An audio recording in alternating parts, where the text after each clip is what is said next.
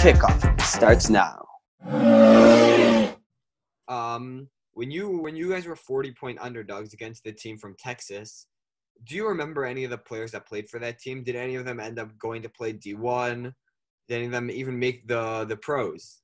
Yeah, you know the team we played against, you know, and I can't remember most of their names. Uh, I, I do a pretty good job of analyzing the guys as players, and my I have assistant coaches that do a great job at that time of knowing the guys and everything about them, their shoe size, and we try and find out weaknesses just like everybody else does. And for a bowl game, you got three and a half weeks of preparation, you know, so you know there's plenty of time to do that kind of stuff. And but I, I kind of I'm a, I'm a blinder guy, and and my job was to convince. We we, we were throwing the ball 35, 36 times a game. And we had the best pass receiving, uh, quarterback uh, receiving combination in the country. And, uh, and, and again, we're non scholarship, and we are real proud of that. Uh, and we went against a team that was a 4 2 5 defense, and their five DBs were going to, if I, if I can remember, Miami, Florida State, Texas, LSU, uh, I can't remember where the fifth one. I mean that, that, but that's the kind of players a full scholarship school is going to get. I yeah. called one of my buddies that uh, was the running back coach at the University of Miami in Florida, and I called him up and I said, Donnie, you know, uh, we're, we're playing Kilgore. What's it going to be like? And he said, ah, it's one of my prime recruiting areas. You know, they'll get 25, 30 players a year go D1. Wow. Now you think, you know, you think about that, and they can only start 22. So that means they've got backup players are, but, but again, that's what happens at a, a, full scholarship JUCO. They can get that kind of talent. Yeah. And playing a state like Texas that has such amazing high school football. Uh, uh, so, uh, you know, I, and I don't remember their names, but I remember we had uh, we ended up with eight kids that went D1, and they had 25. And so uh, you can see the talent difference. But we had a lot of smart kids. We had a lot of kids from my old high school uh, and Sabino that I had recruited that that were that that tweener type of kid that just didn't quite make it to D1 but wanted their shot. And it, it, by that time we were uh, uh, we, we, we, were we were a competitive JUCO even though we were non-scholarship in the in the national uh, NJCAA. We were a, competitive team. Uh, our opening game somehow we had only freshmen.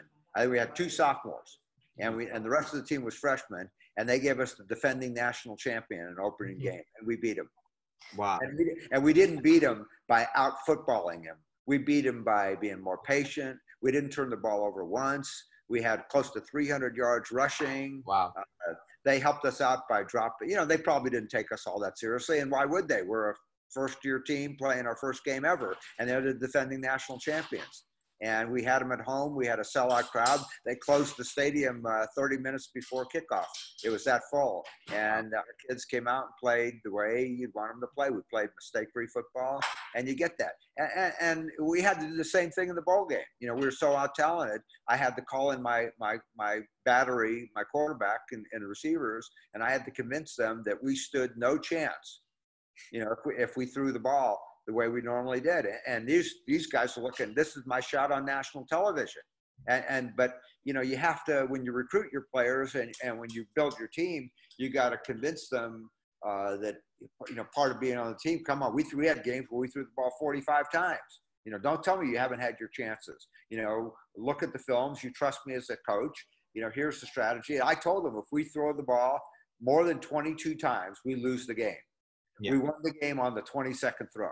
Now that's that is not skill. I got to tell you straight wow. up that that's pure luck. That is pure luck you know, to guess at that close. But that, in fact, that's exactly what happened. Our tailback was the MVP of the game. He had 176 yards rushing, and and we were going against a, a team where every single player on their defense was a Division One player. Matter of fact, they had the uh, runner-up for division uh, for the uh, National Defensive Player of the Year. They had the runner-up as a defensive end. We, our outside linebacker, uh, Mickey Pimentel, ended up the National Defensive Player of the Year, based in large part on his performance on that game. You know, so uh, uh, it, it, you know, I say it, it's people have no idea behind the scenes what it takes to put it together. Uh, you know, to say you know, this is what we have to do. And if we get to this point, then we go in this direction. If we go in that direction, and that, and I, I, I guaranteed that, that the quarterback and the receivers that the last drive would be theirs. You know, we just have to, everybody, we got to hang in the game. We got to keep the clock running. We got to shorten. You know, I, I, think by by the strategy we ran, for example, in a college football game, you know, where it's full 60 minutes, unlike 48 at high school, I think we denied them about 15, 16 plays by keeping the clock going. Does that make sense? And that kept our, that kept our defense from getting really, really beat up, and and which they were, by the way. And and they were in the fourth quarter, they were hanging on by threads. But but I tell you what, when we took the lead and we needed a defensive stand, you, you'd have thought every one of our players was NFL bound. That's how they up their level of game, and that's that, and that's what you want. That's what you do your off-season conditioning for. That's why you run all the gassers. That's why you do all that. So when the moment's at hand and you're still in the game, you know you've got you've got the physical wherewithal to compete to win. And again, that's that's it goes back to that saying that I drill in my players over and over. To win the big game, you got to be in the big game, and to win the big game in the fourth quarter, you got to be in the big game in the fourth quarter. And, and you you teach that philosophy, and you sh- and you strategize for that philosophy. At the same time, you got to get input from your players because you know you want them to be happy and and feel fulfilled that they're getting their chance too. You know. Um, so in the NFL right now, just going to the pros, there's some teams that throw the ball a crazy amount. And you could say 30, 40 years ago, it was almost, it was a lot more running the ball, playing hard nosed defense. And now the NFL's turned into more of a passing league.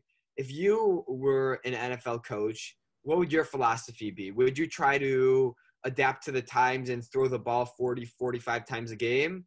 Or would you try to run the ball, go off of play action, and play good defense? Well, first, the running game is coming back to the NFL, and you're seeing a reemergence of the running back as a as a key player. Where for, for up until last year or two years, it really started two years ago, and you're seeing teams that are they're bringing themselves back into the into the Right. league by That's being under center. There's even talk of the fullback position coming back at least part time. You know, people want to see offense. There's no there's no question about that. They don't want to see a seven three game.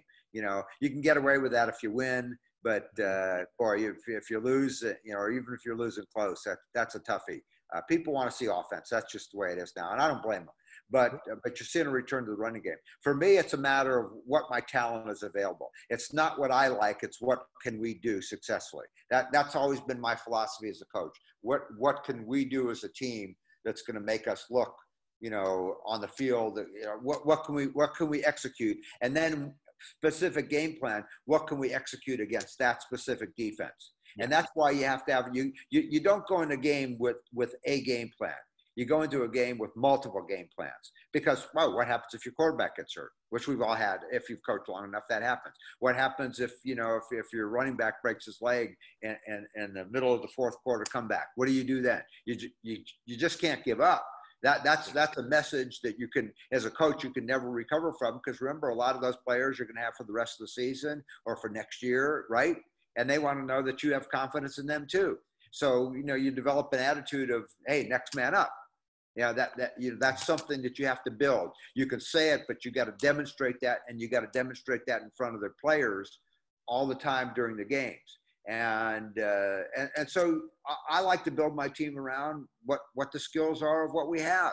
You know, not what do you say you are. You know, what what do you do? Look at look at all behavior. Stop stop. You could you could save you know all people that are listening out there. They could save themselves a real lifestyle kick in the butt by not listening to what people say, but by judging them by the sum of their actions. And if you do that, you end up with a chance to see what the person is really like. You know, because we all, you know, come on, a lot of people can talk a good game. Some people don't talk at all, and you don't know anything about them. You know, as one of the things I talk about in my book is the is the uh, uh, the part that a lot of people like is the pregame in the locker room before the big game, and watching the different players and how they handle you know, pregame in the locker room. And you got guys that are pacing back and forth in the room. You got other guys that have their headsets on. They're laying down, their heads in their locker. That they, got a towel over their eyes. They don't want to see. They don't want to hear. They want to be into themselves. You got some guys that are social bunnies that want to talk to other people. You know, and you have to set up an atmosphere where everybody can be there, be themselves, and be comfortable. Because one of the things you want as a head coach, you don't want pregame distractions. And so you want everybody to be comfortable in their own skin. And how do you set that up? You know, a boombox doesn't do that because you got a lot of kids that don't want, they don't want that level of noise. You know, mm-hmm. so headsets have been a great, that's been a great thing, you know, that, that, so that everybody can be their own person. And, and so, you, you know, you know, when you look at a team, when you decide what offense you're going to run, you know, whether you're going to pass, look at what you got and what can you can what can you get you know, and and you're going to trade this player away. He's been in town for 12 years. He's the heart of the community. You know, there, there's NFL teams that, that aren't going to let that guy go no matter what. And there's other NFL teams that go, he's a player. He doesn't fit our scheme. So he's a great guy. Too bad he's gone, and we'll get him someplace else, right? Yeah. Mm-hmm. I mean, you see that all the time. Uh, uh, who'd have ever thought? Who'd have ever thought that'll let Tom Brady go? You know, mm-hmm. Uh, I would have thought he would have been lived and died a patriot, but you know what? It changed, and, yeah. and, and that's just life. And and again, you know, I can guarantee you that that both. It's no accident that New England was winning all that, and it's not just Belichick and it's not just Brady. It's the two of them, and it was the offensive coordinator and some of the receivers and a bunch of other people buying into that system. You know, there's a whole lot of people that made that together. But I'm willing to bet that Brady is going to be he's going to be successful. Maybe maybe on the problem, maybe or maybe not on the same level. Belichick's going to be successful, right? You know, mm-hmm. you can see the shortened this shortened NFL season. Which team is it has so far has the most amount of players that have opted out? The Patriots. It's, it's the Patriots. Mm-hmm. Now, I want you to think past the season to the future. Okay, yeah. and who is that going to benefit the most? The Patriots. They're going to get the wrong pick. They're going to get draft picks. Uh-huh. They're going to have rest, rested players. They're going to have the confidence of their players that have stayed with them that know that, hey, these guys, they, these guys didn't blink when I said, I'm taking care of my family first. These yeah. guys had my back, paid me my money, said, hey, great, take a year off. We, we understand, right? And I, and and that's just, and I mean, no one knows exactly how that's going to turn turn out. Right. But I think it's a heck of a good strategy. I mean, to me, if I was one of those players that didn't feel comfortable and knew that team had my back, they'd, they'd have me. They'd have me, you know, and they'd have my wife and my family too, right? Right. And those things, you can't put a price tag on those things. You know, you get to the NFL, and it's the same in high school and college, but a lot of times games are lost on the bus. A lot of times games are lost in the locker room before they ever get on the field. And, and again, the fans don't see that. Yeah. Mm-hmm. I think what's so great about the Patriots, what makes them so great is obviously they have a great coach, a great quarterback, but the reason they're so successful all the time is the culture that Belichick has built. Mm-hmm. It's a winning culture. When you go in there, you win games. And right now, next season, their team is not that skilled anymore. It's an right. average skilled team, but you can never count the Patriots out because they just have a winning. They're they're just winners, and either either they're gonna win a bunch of games, contend for the playoffs, or they're going to completely tank, get the first overall pick, mm-hmm. draft the greatest quarterback ever, and then they'll be set for the next 20 years. Yeah. Yeah. I, I, I'd say I don't think that their success was an accident at all. Uh, I think it took a lot of things. You know, you look at Belichick and he and he wasn't all that successful. You know, in the different teams, and and now he's successful. Well, it's like say it's at the beginning. It's it's that the very things. First question you asked me, my answer was about you got to change the culture. Remember, and, yeah. and and that's and now you see the Patriots have that culture, and that's not going to go away in a year, particularly in this particular year with all these strange things and goings ons and partial playings. And I, I don't think there's anybody in the NFL that doesn't look at the Patriots and seeing these guys not playing and isn't thinking, you know, old Bill's got another strategy he's about to mm-hmm. employ here, yeah. right? A very unique strategy, yes, that's for sure. But hey, he's a pretty unique kind of guy. Remember, you know, before Belichick, everybody used to wear a, a, pretty much a coat and tie on the on the sidelines. You know, maybe you get away with a polo shirt. Now it looks like they're out of football practice, right?